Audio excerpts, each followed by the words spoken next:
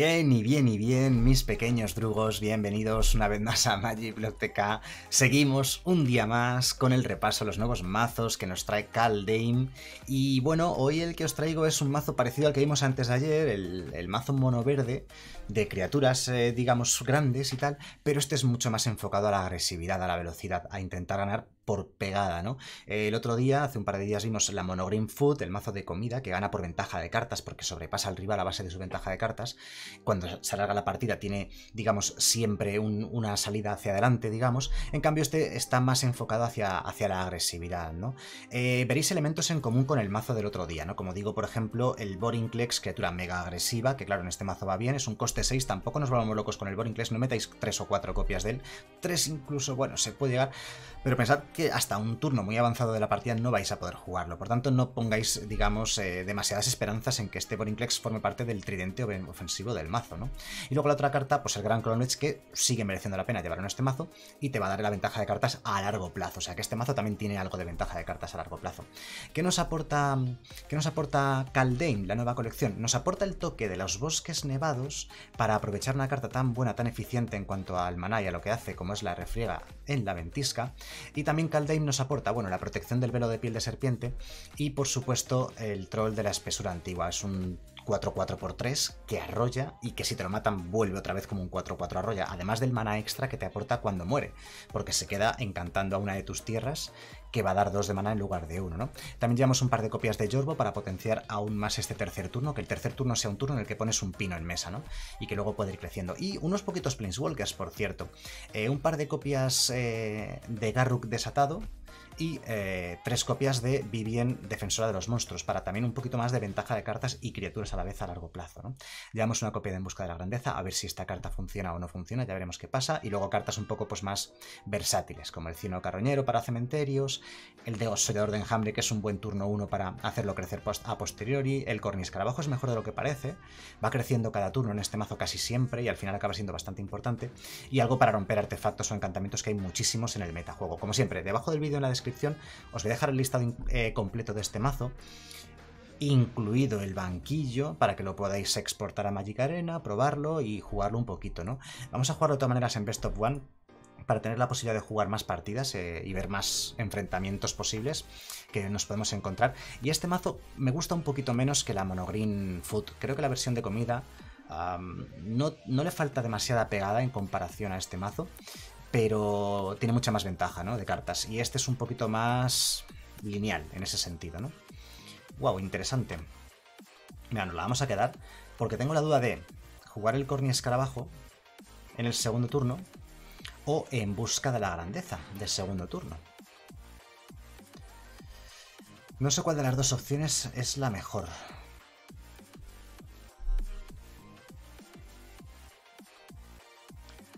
Supongo que viendo una montaña, si juego el Corny Escarabajo es muy probable que nos lo mate con una chispa. Así que bueno, juguemos en busca de la grandeza y veamos qué hace el rival, ¿no? A partir de aquí. Por cierto, nos faltan tierras, nos hemos quedado atascados de tierras, así que el adivinar uno nos puede ayudar bastante. ¿Veis? Justo lo que me refería. Buscamos tierra, a ver si nos sale, y si encontramos una tierra podemos hacer justo, perfecto. Aquí hemos tenido un poquitito de suerte. Podemos hacer el Corny Escarabajo Nesiano y refriega en la ventisca, pim pam pum, indestructible porque tenemos tres tierras nevadas y le matamos su criatura sin que la nuestra muera. Así que nos ha quedado redondo. Los gemas son buenos contra él, a ver si no nos mata el Corny Escarabajo, porque, por ejemplo, Anax, Anax es un encantamiento. Vale, no vamos a poder verlo.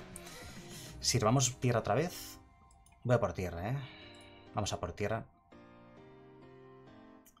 Pues nada, aquí nos hemos quedado. Una de las cosas que está, este mazo lo estoy jugando bastante, ¿vale?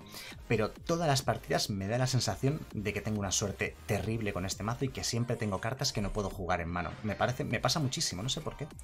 Me pasa más que con cualquier otro mazo, es, es muy raro, muy raro, sinceramente. Vale, la bestia buscada es una buena criatura en este momento. Ataca, bloquea. A ver, él nos la puede convertir en cobarde, cobarde de Coward y que no podamos bloquear, ¿vale? O sea, es decir, él va a pegar de 7 seguramente o incluso más este turno. Ah, nos deja bloquear. ¿Tendrá ya la filoascua? Puede que tenga ya la filoascua. Pues hemos perdido entonces. No podemos, eh, no podemos eh, remontar esto. Si tuviese alguna criaturilla... tuviésemos una criatura de coste 1, aunque sea, podríamos mutar el destruye gemas. ¿Es letal? Es letal. Nos convierte esto en cobarde.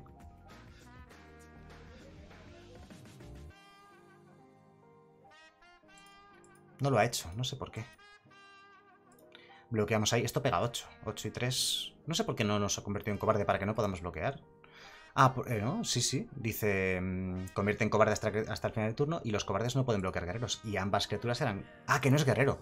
Es caballero enano. Vale, vale. Luego nos mata con una erupción eh, turbulencia.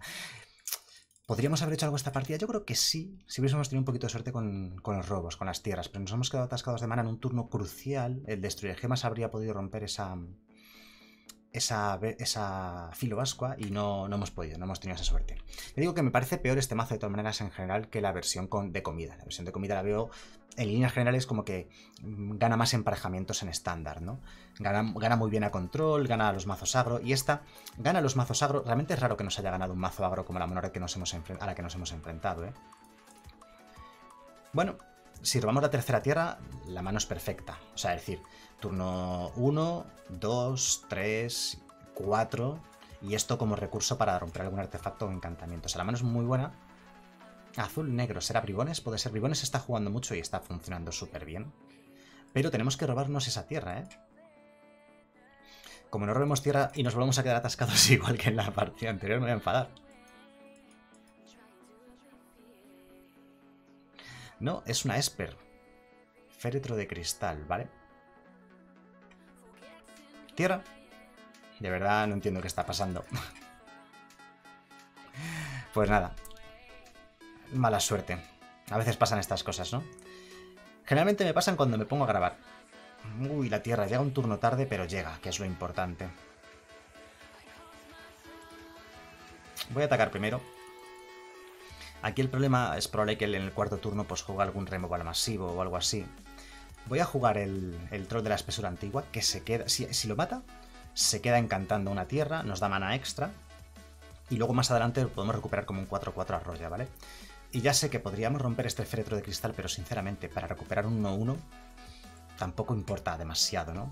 Así que he preferido jugar el troll.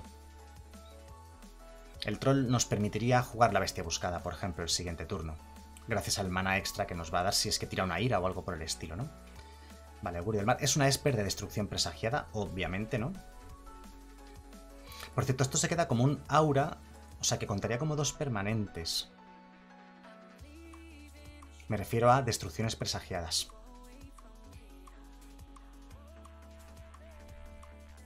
Supongo que si jugase el destrucción presagiada ahora tendría que sacrificar el troll. Ahí está. Tenemos que sacrificar el troll, que se, que... se queda como un encantamiento.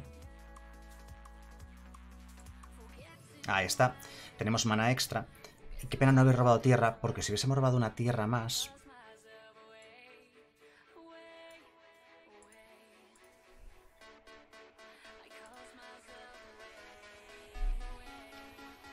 No sé cuál de las dos. Yo creo que van a poner el féretro. Recuperamos un 1-1.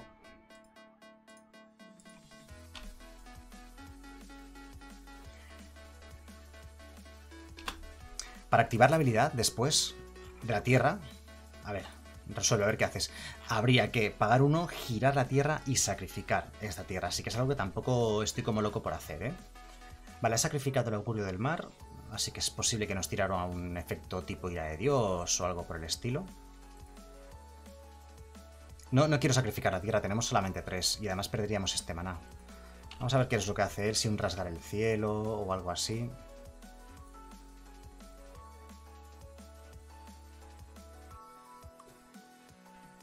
Vale. Crea un 1-1. Con la habilidad de volar gana dos vidas. Eso en el primer episodio. En el segundo, si hace daño de combate con esas criaturas, roba carta. Con la habilidad de volar, vamos. Y luego por último puedes poner una carta de fuera del juego de la que eres propietario en, en el top del mazo. No está mal, ¿eh? no es poca cosa. Le voy a quitar el féretro de cristal del cementerio. Por si lo puede recuperar de alguna manera, pues que no lo recupere. Aquí no hay problema, sacrificamos esta cosa. Bien, tenemos 2 y 3, 5 de maná. El, podemos hacer doble hechizo. Podemos hacer Yorbo más Corniscarabajo. Ojo que también pegamos mucho. Le quedan solamente 13 de vida. Y eh, podemos sacrificar este encantamiento, ¿eh? Simplemente sacrificar el encantamiento. Podríamos hacer Garruk. Darle más 3, más 3. Le pegamos de 7 y lo dejamos a 6 de vida al rival. De hecho voy a hacer el Garruk. Le quedan dos de maná. Espero que no pueda matar el Destruye Gemas. Porque si lo mata nos va a fastidiar bastante. Y como digo, vamos a pegar un buen ataque este turno. Con la destrucción presagiada siempre podremos sacrificar el, el encantamiento, el aura. No va a bloquear, lógicamente, porque supongo que es mejor atacar con el pájaro este, el ave, y robar al menos una cartita. Podríamos haber pegado uno más, por cierto, habiendo exiliado la criatura del cementerio, no me he dado cuenta. Se me ha olvidado que esta criatura es un cieno carroñero, se me olvidó. Pues uno más lo habríamos dejado en 5 y la bestia buscada estaría más cerca de ganar la partida. No me he dado cuenta. Como tenemos cuatro tierras, que es suficiente para jugar prácticamente todos los hechizos del mazo, voy a, mm, voy a sacrificar el, el encantamiento, Laura esta. Seguro, el siguiente turno. Él en el siguiente turno siempre va a poder sacrificar la advertencia del cuervo, ¿eh? Antes de que se dispare su última habilidad. Vamos a ver si lo hace o no lo hace. Nos ataca a nosotros para robar la carta extra. Tendríamos que haber hecho un daño extra. Espero no, no pagar el no haberle hecho ese daño extra con el destruye gemas. Que se me había olvidado que era un cieno carroñero y podríamos haber pegado de uno más. En cualquier caso, es posible que la bestia buscada más el Garruk le pillen un poco por sorpresa y gane la partida.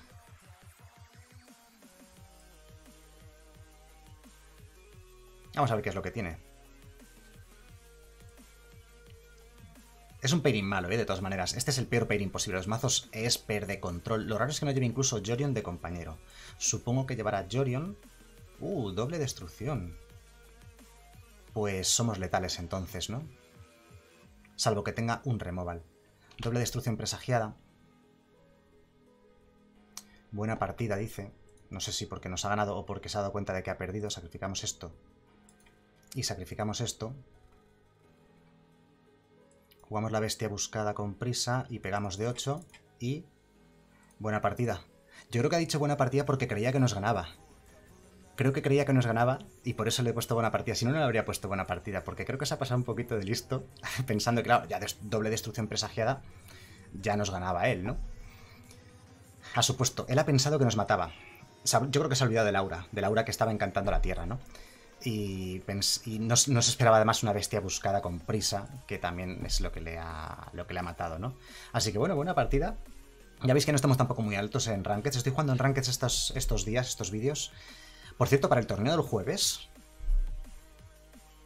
este es el premio para el ganador. Son, a ver, no se ve bien por el cromo, ¿vale? Porque como son foil, es un naufragio consumado foil que envío a domicilio y un, un aniquilador de realidades. Foil también, ¿vale? Es desde la presentación, son de la presentación los dos, por cierto. De sus respectivas presentaciones en su momento. O sea que aquí en el dibujo tienen puesta la fecha, ¿no?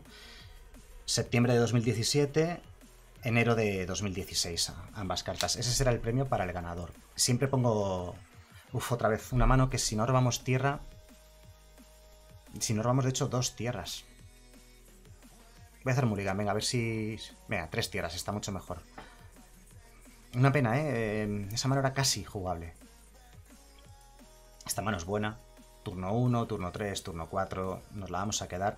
Me voy a quitar el coste más alto, es una pena porque Vivien es muy buena, pero bueno, el mazo lleva 3 Viviens, así que a lo mejor no sale otra más adelante. ¿Quién sabe?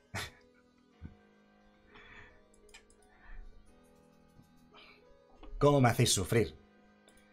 Debería tocarme siempre rivales que, se, que, jueguen mal, que se dejen ganar y así al menos podemos ver, bien los mazos, pero siempre me lo ponen difícil. Mira, ¿ves? Otra Vivien, si es que ya lo decía yo voy a hacer crecer este desollador de enjambre. Lo podría haber hecho crecer incluso en mi turno, por si... Rojo, verde, azul... Ah, es una Temur entonces. Es una Temur Ramp, seguramente de... Seguramente de... De... Joder, ¿cómo se dice? Ultimatum. Ultimatum Temur, rojo, azul, verde. Vale, este turno ya sí. Voy a atacar. Es un pairing malo también. O sea, a ver, pairing malo no significa que pierdas siempre, ¿no? Pero pairing malo sí significa que lo tienes difícil para ganar. La partida anterior teníamos un pairing malo, una Esper de destrucción presagiada es uno de tus peores emparejamientos porque te rompen hasta el Cromlech. Supongo que esto se va a comer algo, un counter me imagino o algo, ¿no? Se ha quedado enderezado. Huele a countercillo. No hay counter. Llevará... puede que lleve efectos ira de la tormenta o algo por el estilo. Entonces no sé si poner un 3-3 o darle más 3 más 3 al troll. De hecho, creo que voy a hacer... Voy a tomar la opción de darle más 3 más 3 al troll. Dudo que me pueda matar el troll. Bueno, lo puedo subir a la mano. Quizás tendría que haberle dado el más 3 más 3 al desollador. No, pero es que el desollador sí que te lo puede matar. Porque al aguantar solamente dos, un gigante huesos te lo mata. Me esperaba un ladronzuelo atrevido que me lo subiese a la mano. Pero mira, hemos tenido suerte y cicla un Jidaro. Vale, es nuestro cuarto turno, como veis. Este mazo no puede matar de cuarto turno y casi me, aventuraría a decir que de quinto turno es casi imposible que mates, salvo que el rival haga lo que acaba de hacer nuestro rival, que es nada. Creo que era no Temur Ramp, ¿vale? Lo que pasa es que lleva Jidaro, pues, bueno, como es un mazo, es un mazo muy personal, mazo de, de Ultimatum personal, quiero decir que tienes muchas opciones distintas de grandes hechizos, ¿no? Pues Ugin o no Ugin, Gidaro o no Gidaro, la sierpe nueva esta de Kaldheim o no sierpe de Kaldheim, ya sabéis, ese tipo de cosas. No es de Kaldheim, o es de Zendikar la sierpe esa grande. No, es de Kaldheim, es de Kaldheim. Es que hay varias sierpes verde-azules. De hecho, hay sierpe verde-azul prácticamente, o sierpe o hidra o lo que sea, casi en cada colección, ¿verdad? Lo que lo pienso. Por eso me ha surgido la duda por un momento, ¿no? ¿Qué está pasando? Este mazo, yo no, no sé qué pasa con él. Pero siempre que lo juego me da unos robos rarísimos. O sea, rarísimos. Siempre un montón de hechizos carísimos. Unas mezclas muy raras de robos, quiero decir en general, ¿vale? No sé qué pasa. Mira, pues seguramente sea un mirror. O es la versión de comida. O es la versión Stompy, agresiva, como la nuestra. No, no estoy seguro todavía, claro, lógicamente. Seguramente sea igual que nuestra versión. Y seguimos atascados de tierra. Bueno, seguimos en dos tierras. Lo cual pinta mal.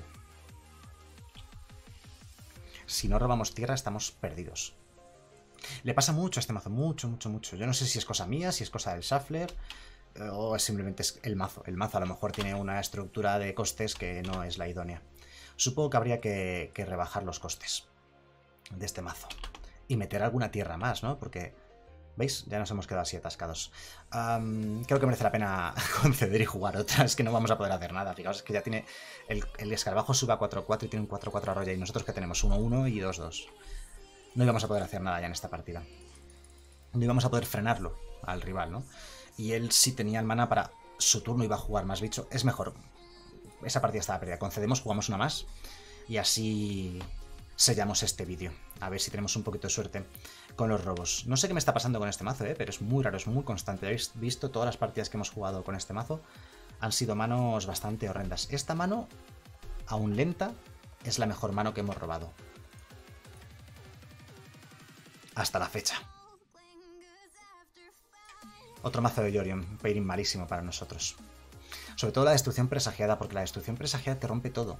Hasta, el, hasta esto, hasta la embusca de la grandeza, el Cromlech... Y es... Temur, otra Temur. Venga, me robo... Esto me pasa... Qué, rabia me da. Robarme el desollador de enjambre en el segundo turno. O sea, el bicho de coste 1 en el segundo turno. Me da una rabia, ya lo sabéis, lo digo siempre. En principio, con En Busca de la Grandeza, podemos jugar esto gratis, porque tenemos un permanente de coste 0. Efectivamente. Y de hecho podemos mutar y romperle eso. Wow, la jugada es bastante buena. Lo vamos a hacer. Vamos a romper ese encantamiento. Y tenemos un 5-5. Al haber mutado encima, le rompemos el refugio al Socelovera y ya no tiene tanta aceleración. No, pues es, ya lleva cuatro colores. Tetracolor, verde, azul, roja, negra. Puede que sea una pentacolor. Azul, negro. De momento hemos visto cuatro colores. Cultiva. A ver si busca llanura. Si busca llanura ya sabemos que es pentacolor. No, es tetracolor solamente. Ah, ¿Queremos el bosque? Yo creo que no. Creo que ya robaremos más bosques tranquilamente. ¿Veis? Zas. Otro bosque. Bueno, es muy difícil que ganemos estos pairings porque el rival, en el momento que él desee, tira una ira de Dios y se acabó. Destruye un permanente, que va a ser el destruye gemas, lógicamente.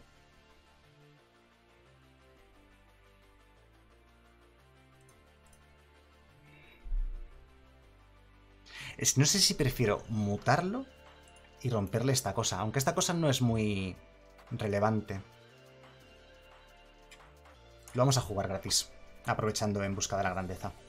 Pero, ¿para qué? Para nada. Como veis, porque tenemos cinco tierras y, y no nos queda nada de, de chicha, ¿no? De nada que digas, ah, venga, ya, 3 y 3, 6. Esto busca bosque, ¿no? Es bosque. Bosque lo pone girado, así que se puede buscar, por ejemplo, los triomas, que son de tipos de tierras básicas. Las nuevas tierras nevadas dobles también tienen tipo de tierra básica. Como podéis ver, pone pantano, bosque, isla. Eso es bastante útil. En cambio, las tierras de doble cara no lo pone. Muy relevante eso para los que no conocéis esos detalles, que seáis nuevos en el juego o lo que sea. Es muy relevante cuando una tierra sí tiene los tipos de tierra básicos o cuando no los tiene, porque no puedes buscarlo con cartas como estas. Vale, adivinamos. Está bien, la carta no está mal. Yo creo que no es para un mazo agresivo en busca de la grandeza. Creo que es para un mazo de combo, de... con algún tipo de truco. Esto qué pena que sea conjuro. Si llega a ser instantáneo le dábamos indestructible. Habría sido muy bonito. Segarruk nos lo vamos a quedar. Lo que no sé es si poner un 3-3 o darle más 3 más 3.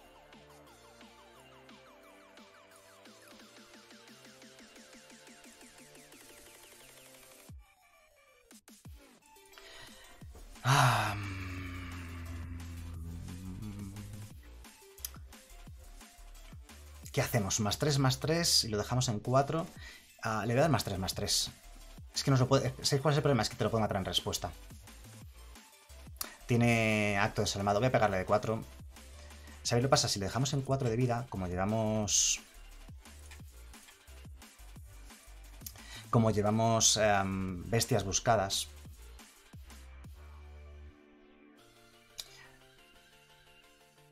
dejar uno de vida puede ser bastante relevante. Lo bueno es que arrolla, ¿vale? Entonces él, no ha ciclado antes porque no tenía intención de bloquear como arrollaba. Ha dicho, ha dicho pues perder mi 1-1 para nada, para ahorrarme una vida no merece mucho la pena. El ultimátum verde-negro, que recupera permanentes del cementerio. Dice, ah no, este es el que busca... No, no he dicho nada, me equivoco con el Apzan. Este es el Sultai. El Sultai busca tres cartas y las muestra. Y nosotros elegimos una y esa una que elegimos la pone en la parte inferior del mazo. Y creo que voy a elegir la epifanía de Allrund y las otras dos que haga lo que quiera con ellas, porque le vamos a dar más 3 más 3 a, supongo, a la bestia, más 3 más 3 y arrollar, y lucharemos con la refriega haciéndolo indestructible, matando su Borinclex. Ahí va, espérate, que el Tibal lo pone con todo, no había dado cuenta del Tibal. Había pensado en el Valky. Pensé en el Valky. Ataca. Eso no me lo esperaba tampoco. Había pensado en el Valky, no en el Tibalt, claro. Es que es una de las peculiaridades que tiene esta carta. Las cartas de doble cara, cuando tienes efectos que te las permiten jugar gratis, te deja elegir la cara que quieres jugar, siempre. No lo tuve en cuenta. Pensé, va, me juega el Valky y el Valky me quita, no me quita nada de la mano porque no tengo criatura, ¿no? Vale, hace el menos 8, con lo cual exilia todas las cartas de todos los cementerios y agrega 3 manas rojos a su pool. Puede jugar con 3 manas rojos, pagando el mana de cualquier color. Tiene el acto desalmado. Supongo que lo que va a jugar es el acto desalmado, ¿no? Sí, nos va a matar uno de los dos bichos. Pero aún así... Aún así creo que ganamos, ¿no? Creo que ganamos, creo. Bueno, ganamos dependiendo de lo que robemos y dependiendo de lo que decida matarnos. Si nos mata el troll, mejor que el 3-3. Vale, nos mata el troll, se pone en esta tierra. Hay que pagar uno extra. hay que pagar uno extra y girar la propia tierra, o sea que no puedo. Si hubiésemos podido convertir esto ya en un 4-4 este turno y haber atacado, lo matábamos este turno. bien. Y en mesa que tenemos, nada. Coste 0, coste 1. Nos daría la partida, por ejemplo, robarnos... No, una bestia buscada tampoco nos valdría ahora mismo. Fua. El Borinclex hace que esto entre con menos contadores. Buah. Creo que, creo que ya no ganamos la partida. ¡Ay, una tierra! He sido demasiado ambicioso. Pues nada, buena partida para el rival que nos ha, nos ha ganado con este mazo. eh, bastante interesante, bastante curioso. Tetracolor ahí con Ultimatum y con el Tibalt. Creo que haberle, cuando he elegido, que le he quitado el Time Walk, el hechizo de ganar turno extra, y no le he quitado el Valky, creo que haberle quitado el Valky, por ejemplo, para que no hiciese Tibalt, habría sido seguramente igual de malo, porque le dábamos un turno extra gratis, ponía dos tokens 1-1, aunque creo que ha sido peor el Tibalt, no caí en la cuenta. Bueno, ha sido una jugada bastante graciosa. Bueno, en cualquier caso, eh, el mazo me gusta, está bien, es divertido, pero yo creo que está por debajo del resto del metajuego. No es un tier 1, ¿vale? Si acaso lo queréis poner tier 2, pues podéis ponerlo tier 2, pero no me gusta tanto como la versión de comida, que es la que yo sí recomiendo, que es la que jugamos hace un par de días. Y bueno, pues nada, eh, este... Espero que, espero que el vídeo os haya gustado y nos vemos en el siguiente. Hasta luego.